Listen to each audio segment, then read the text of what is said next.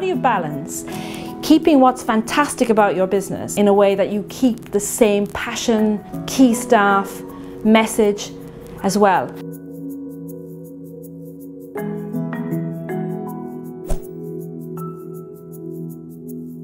Staff used to often say to me, oh go on June, build a nursery in Kidbrooke or build a nursery in Bexley.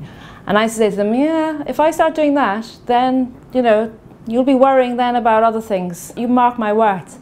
And so when we did announce that we were going to do this, and we had targeted certain parts of the city to do it so, there was real panic, but there was also delight.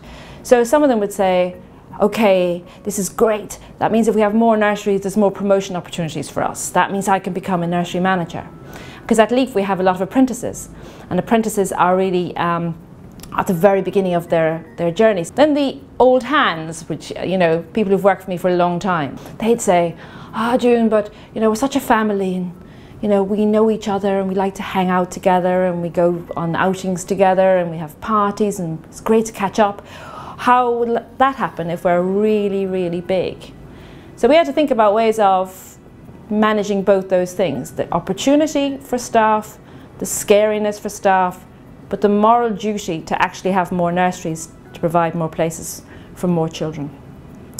So what we thought about is, why did we want to do this? What was the strategy behind that? And how did we get everybody to know that, from the cleaner to the most senior member of staff?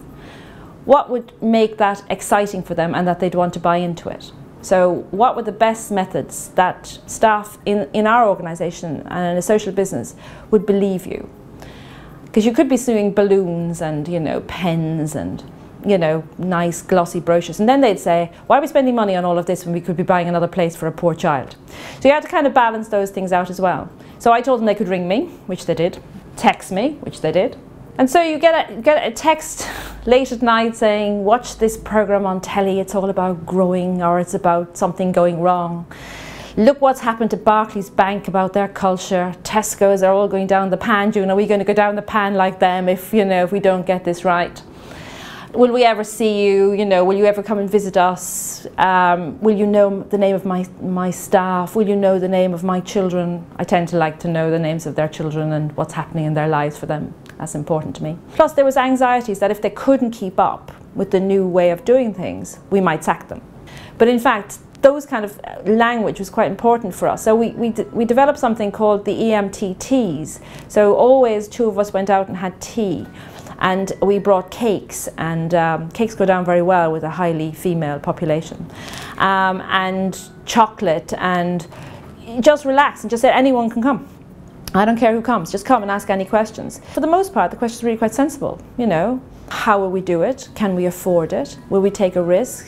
You know, the economic situation isn't great. And then I'd ask them. The best thing to do is say, well, what do you want to do? They wanted more picnics, they wanted more events, they wanted a um, simple message that they could sell to people so that they understood. So, you know, you talk about that in marketing as the kind of elevator test. You know, if you had two minutes to describe what you do, why you do it, and how you should do it, how would you do that?